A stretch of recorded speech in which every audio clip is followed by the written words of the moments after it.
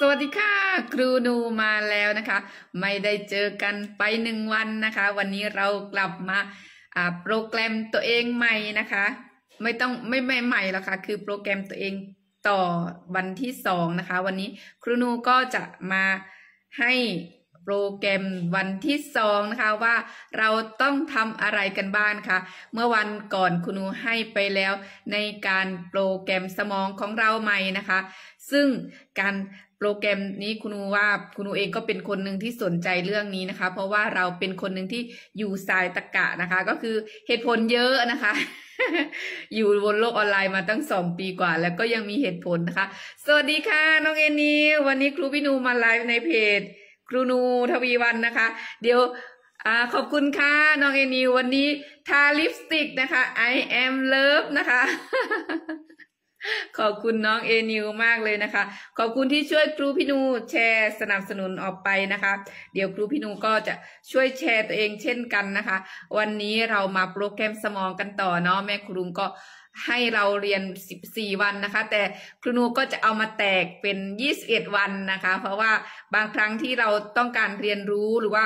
ฝึกฝนตัวเองนะจำเป็นอย่างยิ่งเลยจะต้องทำอะไรให้มันครบอ่า21 วันนะคะ ฉะนั้นแล้วอะ ใครที่ได้ดูเดย์หนึ่งแล้วนะคะ เดี๋ยวครูนูทวนให้อีกทีนะคะว่า สิ่งสำคัญที่สุดที่เราจะเปลี่ยนแปลงตัวเองใหม่ มันไม่ได้มาเปลี่ยนที่โลกภายนอก แต่มันต้องเปลี่ยนที่โลกภายในนะคะ ฉะนั้นแล้วสิ่งที่คุณควรเปลี่ยนที่ครูนูให้ไปเนื้อเมื่อวันที่หนึ่งที่ผ่านมานี้คือ สิ่งแรกคุณต้องรู้ก่อนว่าขุมพลังที่ยิ่งใหญ่มันอยู่ในตัวคุณนะคะ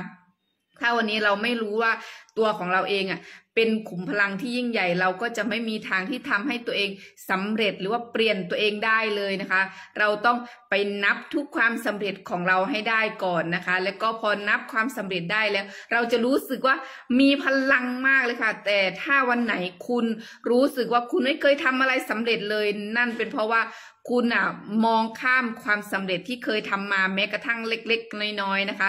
ดังนั้นแล้วให้รีบกลับไปนับความสำเร็จของตัวเองให้ได้ก่อนนะคะ ใช่ค่ะน้องเอนิวคุมพลังที่ยิ่งใหญ่มันอยู่ที่ตัวเราเนาะพอเรารู้ว่าเรายิ่งใหญ่ขนาดไหน เราก็จะรู้สึกว่าเราทำอะไรก็สำเร็จทุกอย่างนะคะ พอเรารู้ว่าเราสำเร็จแล้วเราก็จะต้องรีบมาตอกย้ำตัวเองว่าฉันทำสำเร็จมาเยอะมากมายแล้วนะคะ พอเรารู้แบบนี้แล้วอารมณ์ความรู้สึกของเรามันก็จะเปลี่ยนไปค่ะ ใช่ค่ะกลับไปนับความสำเร็จก่อนเนาะฉะนั้นแล้ววันนี้เราจะมาต่อกันในวันที่สองนะคะ ว่าเราจะต้องทำอะไรเพิ่มเติมอีกวันนี้ครูนูมีห้าข้อย่อยนะคะ ที่จะให้ทุกคนนะคะ เอาไปทำกับตัวเองนะคะ ครูพี่นูหาตัวเองไม่เจอเลยในในโทรศัพท์น้องเอนิวค่ะ ฉะนั้นเดี๋ยวครูนูก็เข้าเรื่องเลยแล้วกันนะคะ วันนี้สิ่งที่สำคัญที่จะทำให้คุณเปลี่ยนแปลงอ่า neuron ในหัวเราหรือว่าสมองของเรานั้นนะคะ ก็คืออ่าคุณนูเจอตัวเองแล้วคุณนูขอสนับสนุนตัวเองเอาไปก่อนนะคะ ขอบคุณน้องเอนิวและขอบคุณทุกคนที่เข้ามานะคะ ให้พลังใจครูนูและรับมหาปัญญาไปด้วยกันนะคะ เพราะว่าวันนี้เราไม่ต้องรอให้เราอะเป็นผู้เชี่ยวชาญก่อนเราสามารถที่จะมาเรียนรู้และลงมือทำไปพร้อม ๆ กันค่ะเพราะทุกครั้งที่เราได้เรียนรู้และเราเอามาลงมือทำเลย มันจะทำให้เราสำเร็จค่ะ สำเร็จในที่นี้คุณอาจจะยังไม่ได้สำเร็จยิ่งใหญ่ตามเป้าที่คุณตั้งใจ แต่ขอเพียงแค่คุณได้ลงมือทำนะคะ เห็นไหมวันนี้แม่ครูรุ้งลงคลิปนะคะ ที่ว่าถ้าเราอะอยากสำเร็จแบบไหน เราก็แค่คิดเห็นถึงภาพสุดท้ายเท่านั้น และเราก็แค่ลงมือทำลงมือทำค่ะเดี๋ยวมันก็จะไปถึงจุดเชื่อมต่อความสำเร็จที่เราต้องการนะคะ เดี๋ยวครูโนขอแชร์เองก่อน ขอแชร์หลายรอบแล้วก็ไม่ได้แชร์สักทีฉะนั้นเอาเข้าเรือไปด้วยแล้วก็แชร์ไปด้วยเลยนะคะ วันนี้สิ่งแรกเลยที่คุณจะสามารถเปลี่ยนแปลงหัวของคุณหรือว่าสมองหรือความคิดของคุณนั่นแหละ คือคุณจะต้องมีความเชื่อก่อนค่ะ ความเชื่อเป็นสิ่งที่สำคัญมากๆเลยนะคะ ที่จะสามารถทำให้คุณเปลี่ยนตัวเองไปได้ ถ้าวันนี้คุณยังไม่เปลี่ยนความเชื่อในหัวของคุณ คุณไม่มีทางที่จะสำเร็จหรือว่าเปลี่ยนตัวเองได้เลยค่ะครูนูเป็นคนหนึ่งนะคะเราเป็นลูกชาวไร่ชาวนาเป็นคนธรรมดาคนหนึ่งแล้วเรามีความรู้สึกว่าทุกครั้ง เราบองย้อนกลับไปว่าชีวิตของเรา มันเหมือนจะสำเร็จ มันเหมือนจะเติบโต แต่บางครั้งมันมีความคิดบางอย่างความเชื่อผิดๆที่อยู่ในหัวของเรา มันทำให้เราอะ กลับไปมีชีวิตที่เหมือนเดิมแแต่วันนี้นะคะ ไม่เป็นไรค่ะ เราแค่เปลี่ยนความเชื่อในหัวของเราใหม่ คุณต้องการเป็นแบบไหนนะคะ คุณจงบอกตัวเองซ้ำๆย้ำๆบ่อยๆ ว่าคุณสามารถที่จะเปลี่ยนตัวเองได้ คุณสามารถที่จะเป็นคนที่คุณต้องการเป็นได้นะคะ ถ้าวันนี้คุณยังมีความเชื่อว่าคุณไม่สามารถที่จะเป็นคนใหม่ได้ คุณก็ไม่มีทางเป็นไปได้ค่ะ แค่วันนี้ถ้าเราต้องการเป็นคนคนแบบไหน อยากจะเปลี่ยนแปลงตัวเองเป็นคนยังไง เราก็แค่เชื่อมั่นนะคะ ว่าเราสามารถเป็นคนคนนั้นได้ค่ะ และจงเชื่อมันอยู่แบบนั้นถึงแม้ว่า ในวันนี้เราอาจจะดูรู้สึกว่าอุ๊ยมันจะเป็นไปได้เลยนะคะ อย่างครูนูแบบเออมีความฝันนะสมมติว่าครูนูอยากมีเป็นคนสำคัญระดับโลกอะไรแบบนี้นะคะ แต่วันนี้เราอาจจะยังไม่ได้เป็นคนคนนั้น แต่ไม่เป็นไรแค่เพียงคุณเชื่อมันอยู่อย่างนั้น เพราะคนสำเร็จทุกคนทีแรกเขาก็ไม่ได้เป็นคนสำเร็จอย่างแม่ครูรุ้งอย่างอาจารย์มันดิตหรือว่าคนสำเร็จมากมาย วันแรกที่เขาอ่าเชื่อว่าเขาสามารถที่จะยิ่งใหญ่ได้ เขาจะเป็นไอดอลของคนทั้งประเทศได้คนทั้งโลกได้ ทีแรกเขาก็ไม่ได้เป็นคนคนนั้นค่ะ เพียงแต่เขาเชื่อตลอดระยะเวลาการเดินทางของเขานะคะ จนทำให้เขากลายเป็นคนคนนั้นค่ะ ฉะนั้นวันนี้ถ้าคุณต้องการเป็นใครต้องการเป็นคนแบบไหน คุณจงเชื่อมันต่อไป แล้วคุณก็จะกลายเป็นคนนั้นแน่นอนค่ะ แล้วสิ่งที่สองนะคะที่จะทำให้คุณนะคะ เปลี่ยนแปลงตัวเองได้และเป็นคนใหม่อย่างแน่นอนคือ วันนี้คุณแค่เปลี่ยนลุคตัวเองค่ะ ปรับเปลี่ยนการแต่งตัว ปรับเปลี่ยนการพูดจาปรับเปลี่ยนพลังงานค่ะ เพราะว่าพลังงานต่างๆนั้นมันสามารถที่จะทำให้เรานะคะ กลายเป็นคนใหม่ได้แน่นอนค่ะ ถ้าวันนี้คุณอยากสำเร็จ คุณอยากจะมีชีวิตที่ดีขึ้น คุณอยากจะมีเงินล้านแต่คุณยังทำตัวแบบแต่งตัวเหมือนเดิมนะคะ ก็คือบางครั้งเราอย่างครูหนูเองเป็นคนหนึ่งที่ไม่ค่อยแต่งตัวเลยนะคะ หน้าก็ไม่แต่งนะคะ ใส่เสื้อยืดนะคะกางเกงวอร์มธรรมดากางเกงยีนธรรมดานะคะ แต่วันนี้นะคะ เราไม่ต้องว่าเออฉันจะต้องไปแต่งตัวเลิศหรู perfect นะคะ แค่เราปรับเปลี่ยนตัวเองให้แบบดูดีขึ้นตามสไตล์ที่เรารู้สึกว่ามันดีกว่าที่เราเคยเป็นมานะคะ คือสามารถใช้เสื้อผ้าเดิมได้ แต่ให้มันอ่าเข้า look look เนาะเข้า look อะเขาเรียกกันไงปรับ look ให้ดูดีกว่าเดิมแค่นั้นแหละค่ะอ่าเดี๋ยวแป๊บหนึ่งนะคะ คุณหนูขอแชร์หน้าเฟซตัวเองก่อนยังไม่ได้แชร์เลย อันนี้คุณโอ้ยขอโทษนะคะเข้าอีกเฟซหนึ่งนะคะ อ่าฉะนั้นแล้วนะคะ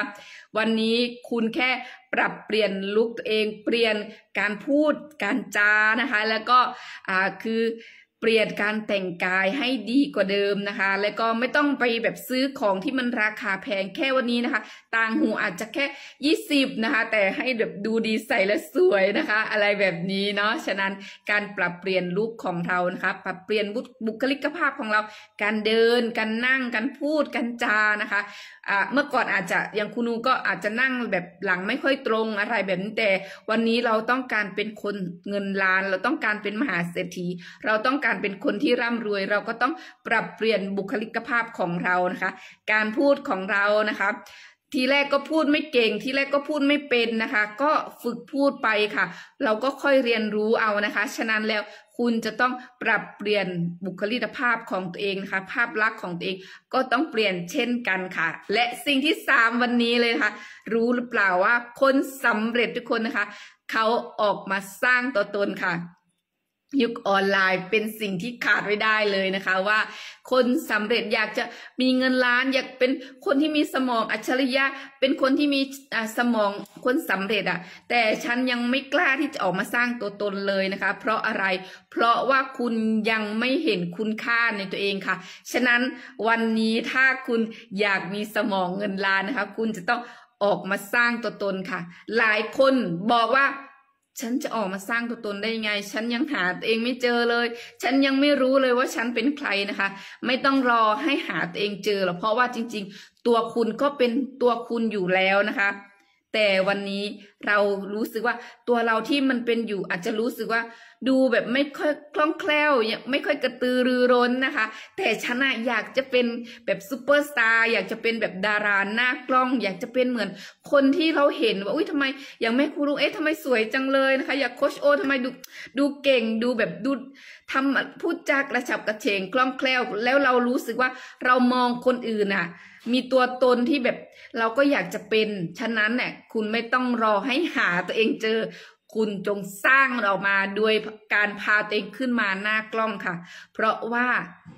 คนสำเร็จทุกคนเขาก็สร้างตัวตนทั้งนั้นค่ะ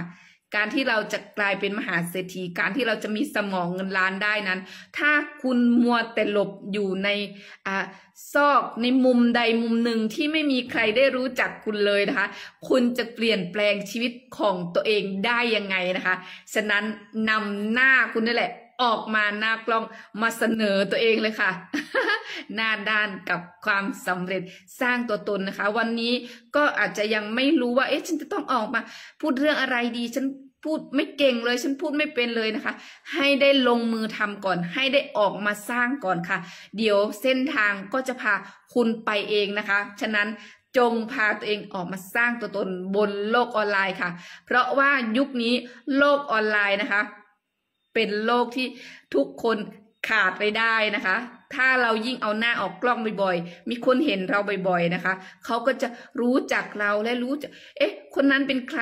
เขามาส่องดูซิว่า เอ๊ะ คุณนัวเป็นใครเอ่ยนะคะ อันนี้แหละ มันจะทำให้ใครหลายๆ คนนะคะ รักเราและเชื่อมั่นเรานะคะ อืม แล้วก็สิ่งที่สี่เลยนะคะ วันนี้คือถ้าคุณอยากจะโปรแกรมตัวเองใหม่ เป็นคนที่มีสมองเงินล้านนะคะ เคล็ดลับก็คือ คุณจะต้องเรียนรู้คนสำเร็จค่ะ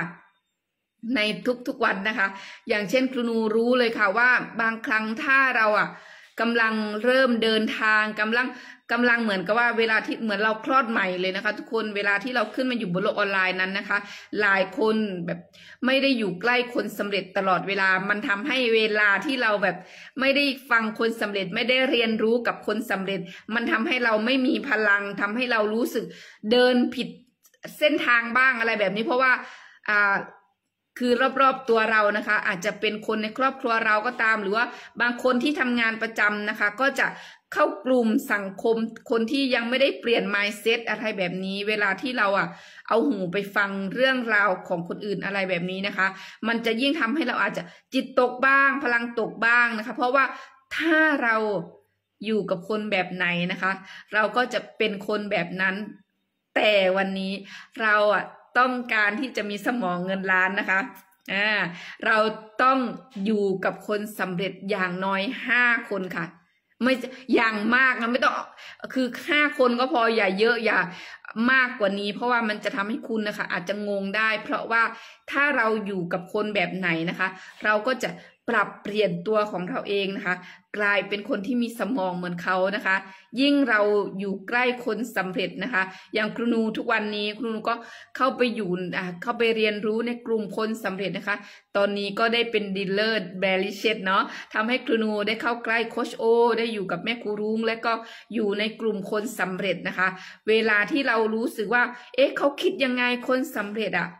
เขามีสมองเงินล้าน เขาถึงเป็นคนสำเร็จเขาถึงร่ำรวยขึ้นมาได้ ฉะนั้นแล้วเราก็แค่เอาสมองของคนสำเร็จมาใส่สมองเรานะคะ ค่อยๆฝึกฝน ค่อยๆลงมือทำค่ะ แล้วเราก็จะกลายเป็นคนสำเร็จและเป็นคนที่มีสมองเงินล้าน เช่นเดียวกันกับที่คนสำเร็จเป็นนะคะ รู้หรือเปล่าว่า ถ้าทุกครั้งที่เราเข้าไปอยู่ในกลุ่ม คนที่เขายังไม่ได้เปลี่ยน mindset นะคะ ไม่ว่าจะเป็นเพื่อนร่วมงานของเรา หรือว่าแม้กระทั่งคนในครอบครัวนะคะ เวลาที่เราไม่ได้เอาหูเราไปฟังคนสำเร็จพูด คนสำเร็จสอนนะคะ มันจะทำให้เรารู้สึกว่าก้าวเดินของเราเนี่ย มันดูแบบผิดพลาดอะไรสักอย่างหนึ่งนะคะ ฉะนั้นแล้วคุณจะต้องพาตัวคุณเข้าไปอยู่ในสนามแม่เหล็กค่ะ สนามแม่เหล็กนั้นก็คือสนามของอ่า การเรียนรู้ห้องการเรียนรู้ค่ะ ฝึกฝนเรียนรู้ตลอดเวลานะคะ ยิ่งจะเป็นการดีค่ะ และสิ่งที่ห้าเลยนะคะ ที่จะทำให้คุณมีสมองเงินล้านได้โดยการฝึกจินตนาการค่ะนี่แหละเป็นสิ่งหนึ่งที่คนสำเร็จอย่างเช่นไอน์สไตน์เนาะไอน์สไตน์บอกว่าอ่าจินตนาการสำคัญกว่าความรู้นะคะ เพราะคนสำเร็จทุกคนเขาใช้จินตนาการค่ะ คนส่วนใหญ่แล้วนะคะครูหนูเองก็เป็นคนหนึ่งค่ะไม่เคยรู้มาก่อนนะคะ เมื่อก่อนอะ ก็ใช้อะสมอง เอ๊ะเดี๋ยวมันเป็นซีกซ้ายหรือซีกขวาเดี๋ยวไปอะอะเรียนใหม่เนาะแต่วันนี้ให้ก็รู้ก่อนนะคะว่า จินตนาการน่ะสำคัญมากที่สุดนะคะ ถ้าวันนี้คุณนะคะ ต้องการเป็นใครต้องการมีสมองแบบไหน ต้องการมีชีวิตเป็นยังไง คุณแค่ใช้จินตนาการของคุณนะคะ ให้มากที่สุดค่ะ ฝึกฝนเรียนรู้นะคะ แรกๆอาจจะรู้สึกว่ามันดูแบบไม่ใช่นะคะ แต่ครูเชื่อค่ะว่าเราทุกคนนะคะ เราไม่ได้ฝึกสมองของเราให้จินตนาการไงคะฉะนั้นวันนี้เราก็แค่รู้แบบนี้ เราก็แค่ฝึกสมองของเราให้จินตนาการให้เยอะที่สุดนะคะ วันหนึ่งคุณจะต้องใช้เวลาในการคิดถึงภาพเป้าหมายของคุณ คิดถึงภาพที่คุณต้องการบ่อยๆนะคะ มันจะสามารถทำให้คุณเห็นภาพนั้นชัดขึ้นค่ะ ถ้าวันนี้เราอาจจะรู้สึกว่า ฉันก็ฝึกแล้วนะ แต่มันดูแบบเป็นไปไม่ได้ดูแบบไม่เห็นภาพอะไรแบบนี้ก็นั่นเป็นเพราะว่าตลอดชีวิตที่ผ่านมานั้น เราไม่เคยได้ฝึกเรา หัวสมองเราเลยนะคะ เราฝึกแต่ใช้เหตุผล ใช้ตรรกะนะจะใช้แบบอันที่ไม่ได้เป็นประโยชน์ไม่ได้สร้างสรรค์ ฉะนั้นวันนี้นะคะ คุณต้องกลับไปฝึกจินตนาการ ภาพความฝัน ภาพเป้าหมายของคุณให้เยอะกว่าเดิมค่ะ แล้ววันหนึ่งนะคะ สมองของเราก็จะกลาย เป็นสมองเงินล้านและสำเร็จยิ่งใหญ่เหมือนคนสำเร็จอย่างแน่นอนค่ะ อ่า ฉะนั้นแล้ววันนี้นะคะ ทั้ง 5 เคล็ดลับนี้นะคะ ครูนูเชื่อค่ะว่ามันสามารถที่จะทำให้คุณกลายเป็นคนหนึ่งที่มีสมองใหม่สมองเงินล้านได้อย่างแน่นอนนะคะ ฝึกฝนเรียนรู้ลงมือทำ ไปพร้อมๆกันกับครูนูนะคะ ครูนูเชื่อค่ะว่า ความมุ่งมั่นของเรานั้นนะคะ มันไม่สูญเปล่าอย่างแน่นอนค่ะ และวันหนึ่งนะคะ เมื่อถึงเวลานั้นนะคะ เราก็จะแบบอบกอดรับ ความสำเร็จที่เราต้องการอย่างแน่นอนค่ะ ฉะนั้นขอบคุณทุกพลังใจที่มาส่งให้ครูนูทั้งสดและย้อนหลังนะคะ ครูนูเชื่อค่ะว่า วันนี้ขอเพียงแค่เรามุ่งมั่นตั้งใจที่จะโปรแกรมตัวตัวเองใหม่นะคะ เพราะคนสำเร็จทุกคนกว่าที่เราจะเห็นเขาสำเร็จยิ่งใหญ่แบบนี้นะคะ ครูนูได้เข้าไปเรียนกับแม่ครูรุ้งยิ่งรู้เลยว่า ต้องใช้ความมุ่งมั่น ต้องใช้ความอดทนทำให้มากพอทำให้ยาวนานนะคะ คุณถึงสำเร็จค่ะ และวันนี้คุณอาจจะมีความรู้สึกว่า คุณก็ทำมากแล้วนะ แต่เวลาที่เราบอกว่าเราทำมาก เราได้ทำมันด้วยความสุขหรือเปล่า ระหว่างการเดินทางไปสู่เป้าหมายนั้น เราต้องทำให้มันมีความสุขค่ะ เราต้องเป็นคนที่ฉลาดนะคะ ฉลาดสร้างอารมณ์ของเราให้มีแต่อารมณ์ดีอารมณ์บวกนะคะ ฝึกฝนค่ะคุณครูเชื่อว่า ถ้าเราฝึกฝน